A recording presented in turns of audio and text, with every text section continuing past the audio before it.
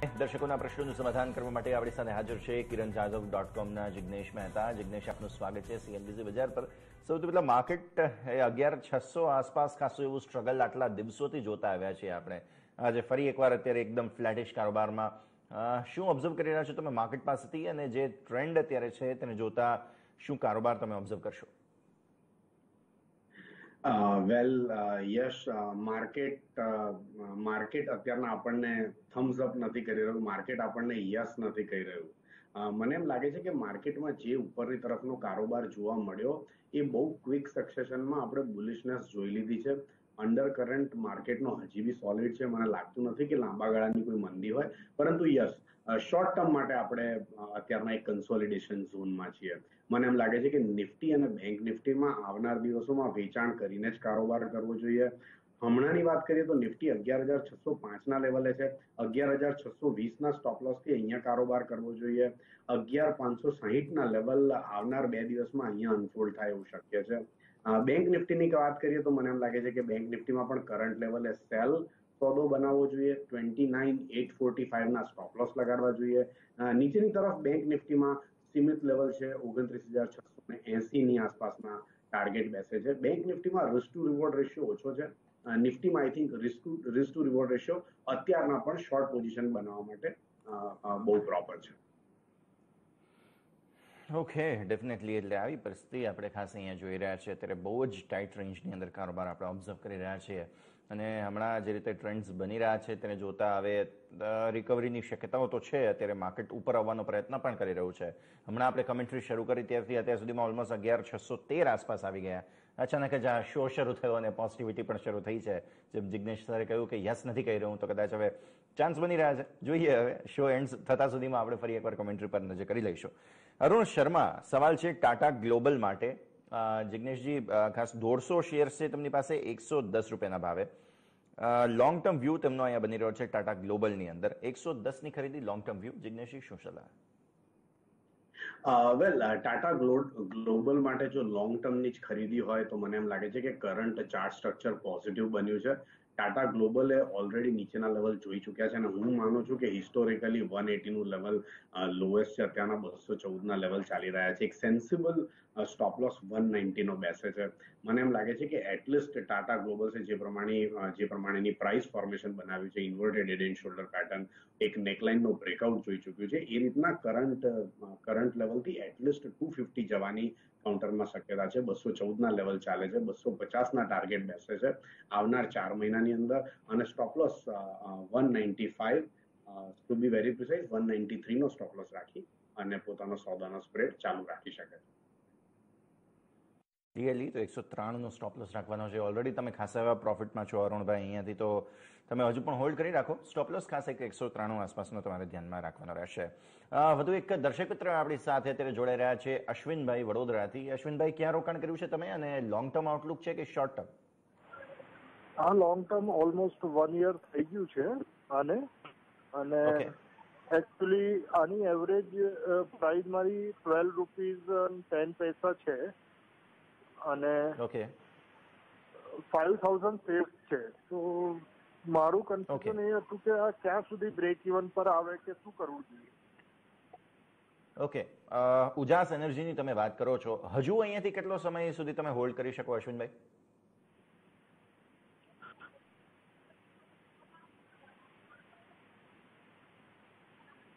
Okay તમને સાથે લાગે છે.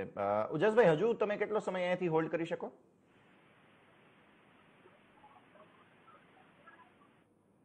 ઓકે, તેમની સાથે સંપર્ક કપાયો છે. જિગ્નેશજી ખાસ ઉજાસ એનર્જી વાત અહીંયા આવી રહી છે. પાંચ હજાર શેર્સ છે. એવરેજ બાર રૂપિયા દસ પૈસા. ખોટ બહુ મોટી. તમે ઓલરેડી સ્માઇલ કરી રહ્યા છો, એટલે તમારા મનમાં કંઈક તો ચાલી જ રહ્યું છે. શું ઓબ્ઝર્વેશન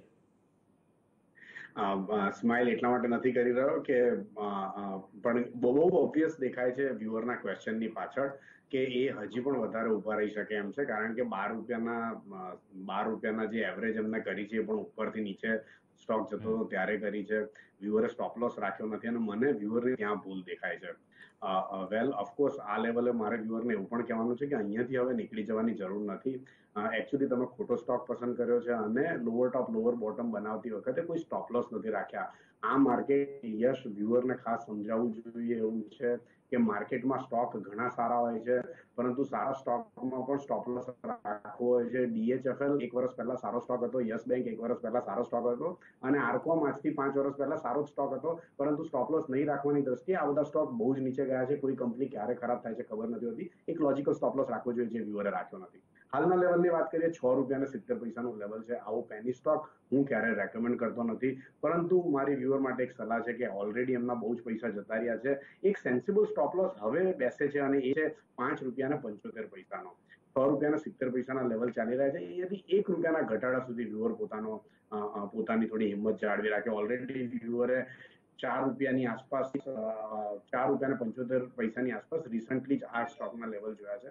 હવે ફાઈવ સેવન્ટી ફાઈવ નો સ્ટોપ લોસ રાખે કાઉન્ટરમાં બનેલા રહે જો આ કાઉન્ટર આઠ રૂપિયાની ઉપર જાય તો દસ રૂપિયા લેવલ આવશે. દસ અગિયાર રૂપિયાના લેવલ આવે તો વ્યુઅરે ડેફિનેટલી આ કાઉન્ટરમાંથી નીકળી જવું જોઈએ. અને પછી બીજા કોઈ સ્ટોકમાં ડેફિનેટલી તો તમારે અહીંયાથી સ્ટોપ લોસ પાંચ રૂપિયા પંચોતેર પૈસાનો જે છે તે ખાસ ધ્યાનમાં રાખીને તમારે અહીંયા કારોબાર કરવાનો રહેશે. અને આગળ જતાં અગિયાર એક રૂપિયા આસપાસ લેવલ જોવા મળે તો તમારે ડેફિનેટલી અહીંથી એક્ઝિટ કરી લેવી જોઈએ. તો આ એક ખાસ ફોકસ બનતું જોવા મળી રહ્યું છે. સાથે સાથે વધુ એક દર્શક મિત્ર ઉમેશભાઈ ગાંધી વલસાડથી આપણી સાથે.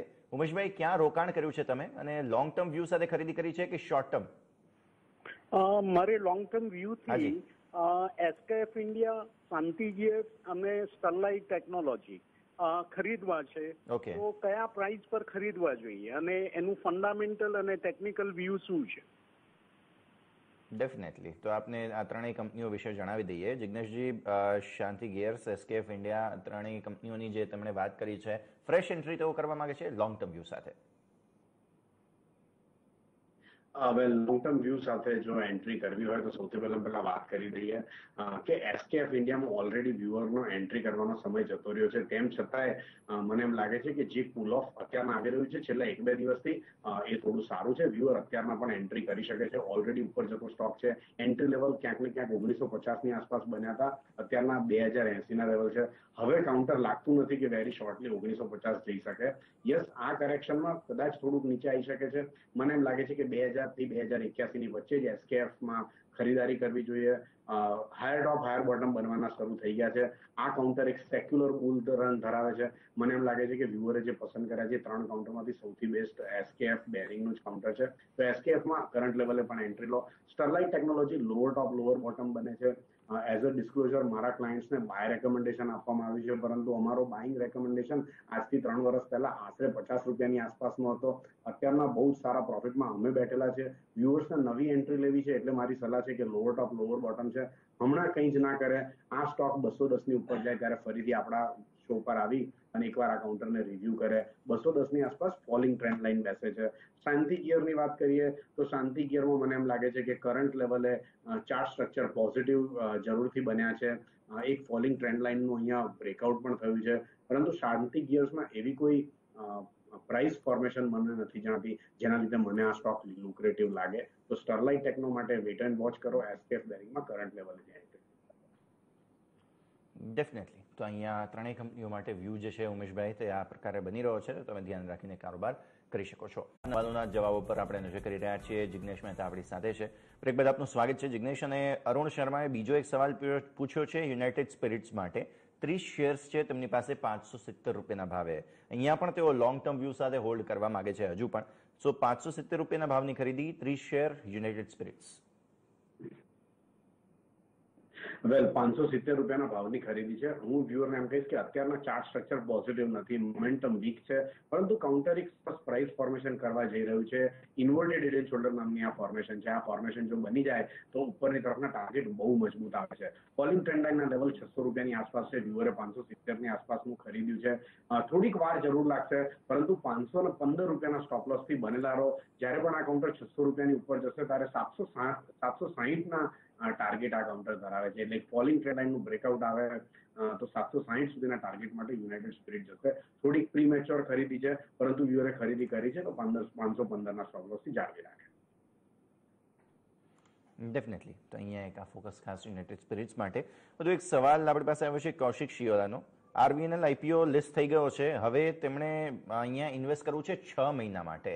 આપણે સૌ કોઈ જાણીએ છીએ જિજ્ઞેશ કે પીએસયુ કંપનીઓનું લિસ્ટ થયા બાદ તેની શું હાલત થતી હોય છે.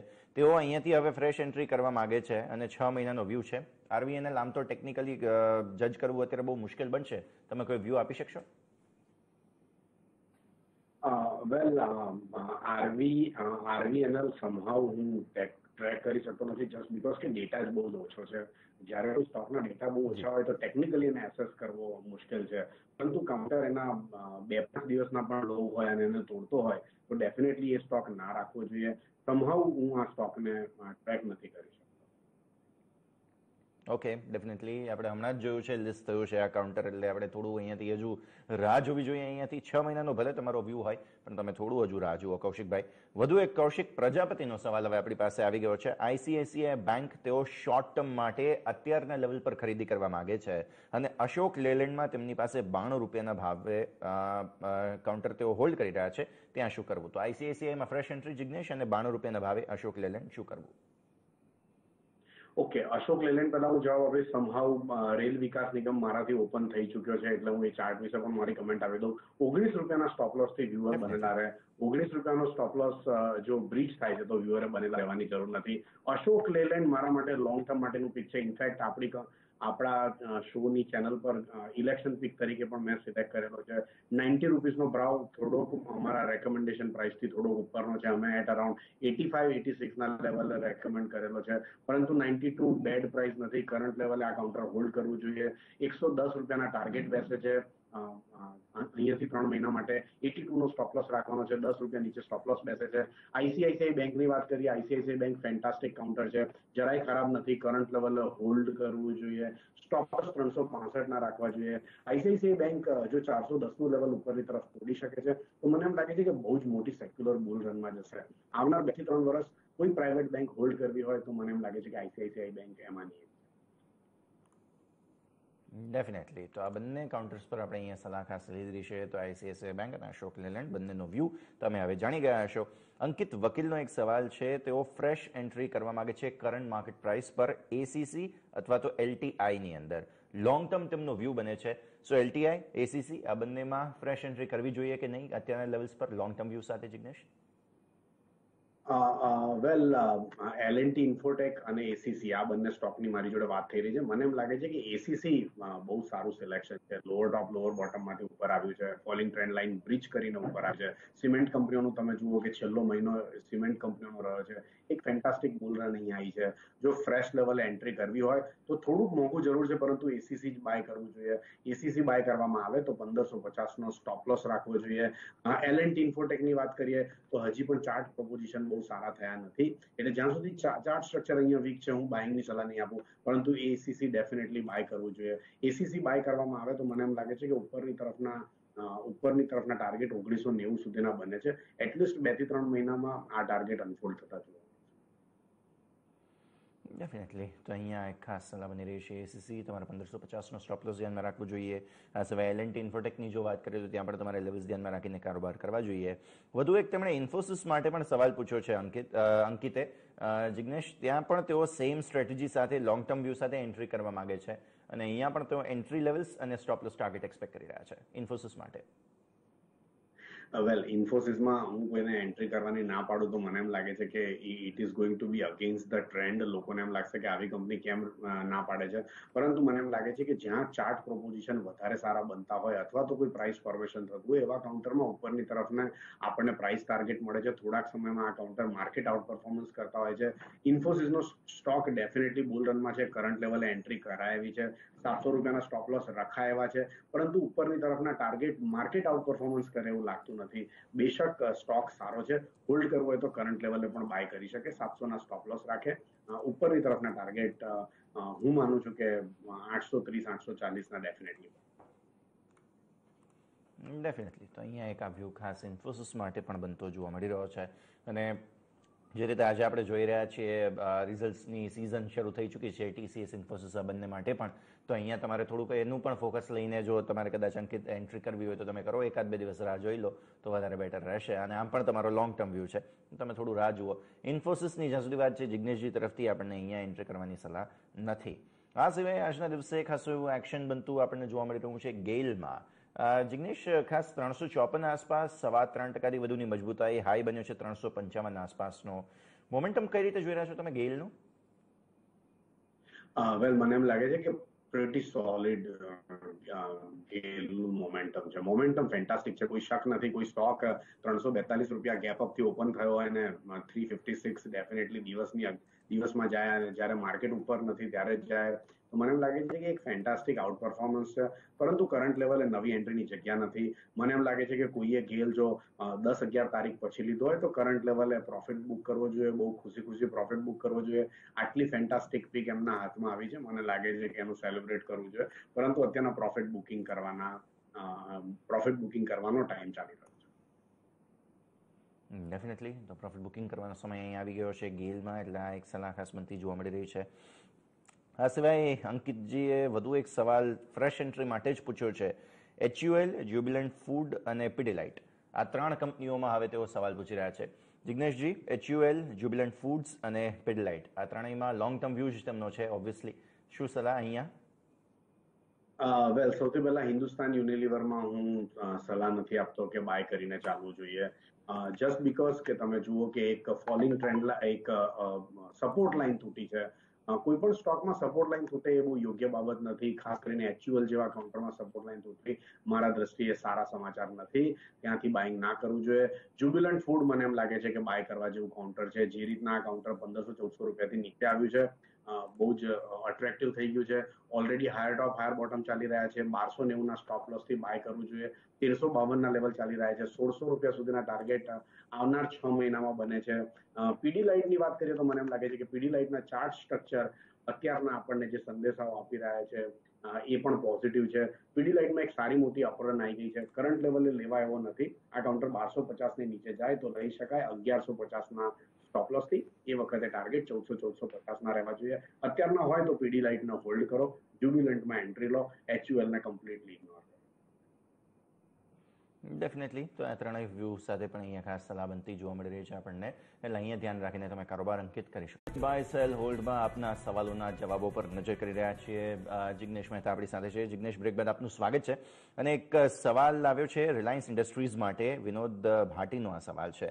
તેઓ એક લાખ રૂપિયાનું ઇન્વેસ્ટ કરવા માગે છે અને તેઓએ ફ્રેશ એન્ટ્રી કરવી છે રિલાયન્સ ઇન્ડસ્ટ્રીઝમાં ઇન્વેસ્ટ કરાય કે ના કરાય? રિલાયન્સ ઇન્ડસ્ટ્રીઝમાં ડેફિનેટલી ઇન્વેસ્ટ કરાય. મને એવું લાગતું નથી કે આવનાર સમયમાં કોઈ એક સ્ટોક જે નથી આઉટ જે નથી પરફોર્મ કરવાનો, એ રિલાયન્સ ઇન્ડસ્ટ્રી સિવાય બીજો કોઈ હોઈ શકે. I think fantastic chart structure છે, જે બુલ રન છે સેક્યુલર બુલ રન છે, આવનાર સમયમાં રિલાયન્સ ઇન્ડસ્ટ્રીઝ અહીંયાથી બહુ જ ગતિ કરવાનો છે. જે કરેક્શન થઈ રહ્યું છે, એના માટે હું એટલું ચોક્કસ કહીશ કે કરંટ લેવલે આ સ્ટોક કન્સોલિડેશનમાં છે. નીચે થોડુંક જાય તો તમને ફાયદાકારક એન્ટ્રી મળશે. સ્ટોકનો સ્ટોપ લોસ બહુ દૂર આવે છે. અગિયારસો ને એસી ના સ્ટોપ લોસ આવે છે. કરંટ લેવલ તેરસો ને બેતાલીસનું છે એટલીસ્ટ આ કાઉન્ટર તેરસો ને નીચે બારસો એસી ની આસપાસ જાય તો થોડોક અટ્રેક્ટિવ બનશે. ટાર્ગેટ હજી પણ રિલાયન્સના ફેન્ટાસ્ટિક છે. મને એમ લાગે છે કે આવનાર ત્રણ વર્ષમાં ડબલ ધ મનીની રિલાયન્સમાં ઓપોર્ચ્યુનિટી ડેફિનેટલી અને આ સાથે જ આપને જણાવી દઈએ, આપ જે ચેનલ જોઈ રહ્યા છો તેની માલિકી ટીવી એટીન અને કારોબાર રિલાયન્સ ઇન્ડસ્ટ્રીઝના હાથમાં છે. આગળ વાત કરીશું. વધુ એક સવાલ આવે છે ઋષભ સિનોજિયાનો. તેઓ એન્ટ્રી લેવલ પૂછી રહ્યા છે. આજે જિગ્નેશ મને લાગે છે ઇલેક્શનની સિઝન છે અને ઉપરથી ઘણા બધા લોકો ફ્રેશ એન્ટ્રી કરવા માગે છે. એન્ટ્રી લેવલ સવાલ છે એક્સાઇડ અમરા રાજા અને એનબીસીસી આ ત્રણ કંપનીઓમાં તેઓ ફ્રેશ એન્ટ્રી કરવા માગે છે અને તેમનો વ્યૂ તેમણે લખ્યો નથી, એટલે આપણે માનીએ કે કદાચ મીડિયમ ટર્મ આઉટલુક સાથે તેઓને એન્ટ્રી કરવી હોય. તો Exide Amara Raja NBCC well Exide Amar Raja અને એનબીસીસી આ ત્રણે સ્ટોક ઉપર આપણે આપણી આપણા વ્યૂ આપીએ સૌથી પહેલા પહેલા એનબીસીસી ની વાત કરીએ. રિસન્ટલી આ ચાર્ટ આ ચાર્ટ સ્ટ્રક્ચરમાં એક બહુ ટ્રેક્શન જોવા મળ્યું છે. પચાસની નીચે આ કાઉન્ટર હતું અને તમે જુઓ કે રિસન્ટલી આ કાઉન્ટર સિક્સટી એટની આસપાસ જઈને આવ્યું છે. કરન્ટલી સિક્સટી ટુ ની આસપાસ છે. યસ ચાર્ટ સ્ટ્રક્ચર પોઝિટિવ છે. સિક્સટી ટુ ના લેવલે જ બાય કરવું જોઈએ. સ્ટોપ લોસ ફિફ્ટી એટ ના રાખવા જોઈએ. ચાર રૂપિયા નીચે સ્ટોપ લોસ રાખવાનો છે. સેવન્ટી સેવન સુધીના લેવલ આવનાર ત્રણ મહિનામાં એનબીસીસી માં અચીવ થાય એવી ડેફિનેટલી પ્રોપોઝિશન બને છે. અમર રાજા બેટરીઝ કરંટ લેવલે બાય કરવા જેવો નથી. કાઉન્ટરે સપોર્ટ લાઇન તોડી છે. મારી દ્રષ્ટિએ કમ્પ્લીટલી એને ઇગ્નોર કરવો જોઈએ. એસઆઈ ઇન્ડસ્ટ્રીઝની વાત કરીએ, અહીંયા પણ ચાર્ટ સ્ટ્રક્ચર પોઝિટિવ થયા નથી. બસો ત્રીસની ઉપર આવે તો વ્યુઅર આપણી પાસે રિવ્યુ કરી શકે. વ્યુઅરે ત્રણ પૂછેલા સ્ટોકમાંથી એનબીસીસી અટ્રેક્ટિવ સ્ટોક છે, એને બાય ચાલો ડેફિનેટલી તો એનબીસીસી વધારે એટ્રેક્ટિવ લાગી રહ્યું છે, તેને તમારે ખરીદી કરવી જોઈએ. જિજ્ઞેશ કહ્યું છે? રજા લેવાનું આપના ડિસ્ક્લોઝર્સ જી યશ દરેક વ્યુઅરે એમ સમજી લેવું જોઈએ કે જેટલા સ્ટોક વિશે મેં વાત કરી, એમાં અમારો અને અમારા ક્લાયન્ટનો કોઈને કોઈ તરફનો ઇન્ટરેસ્ટ રહેલો હતો હોય છે. વ્યુઅર્સ એમના પર્સનલ ફિનાન્શિયલ એડવાઇઝરની પણ સલાહ લઈ લે અને પછી જ માર્કેટને વેન્ચર કરે.